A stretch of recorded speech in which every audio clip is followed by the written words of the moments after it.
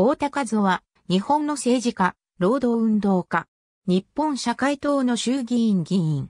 捕獲を問わず、一夫さんと親しまれた。岡崎市名誉市民。1967年の衆議院議員総選挙。名鉄労組委員長から祝福を受ける大田和夫。大田和夫と妻の吉江愛知県矢作町大技、私生まれ。壁海軍矢作高等小学校を経て、1927年に上京。東京市下役の岩倉鉄道学校に入学。下役坂本町4丁目にあった東京朝日新聞の新聞販売店で住み込みで働きながら昼間は学校に通う。1929年10月、同校を主席で卒業。12月、名古屋鉄道株式会社に入社。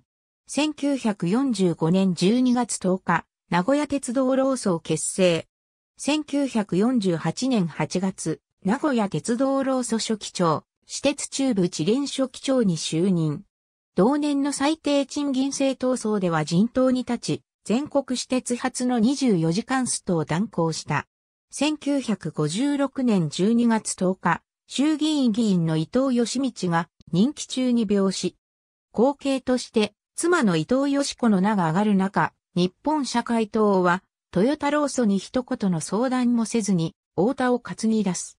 1958年1月、月刊岡崎ジャーナル氏の主管となる。1958年5月22日に行われた第28回衆議院議員総選挙の旧愛知4区で、社会党は結局、太田と伊藤義子の二人に公認を出した。伊藤は、老夫以来のつながりで、トヨタ労組の支援を受けたため、自動車対電車の戦いと世間の耳目を集めた。結果は、大方の予想に反し、両者ともに初当選。煽りで、小笠原39郎が落選するハプニングを呼んだ。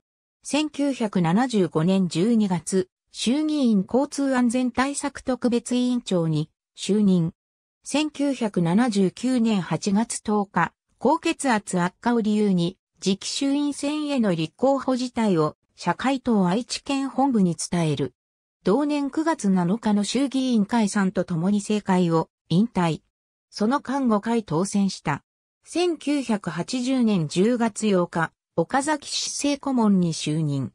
1981年11月、君二等随法賞受賞。1983年、上司公園整備懇談会会長に就任。1990年11月3日、名古屋市立大学病院で死去。79歳没。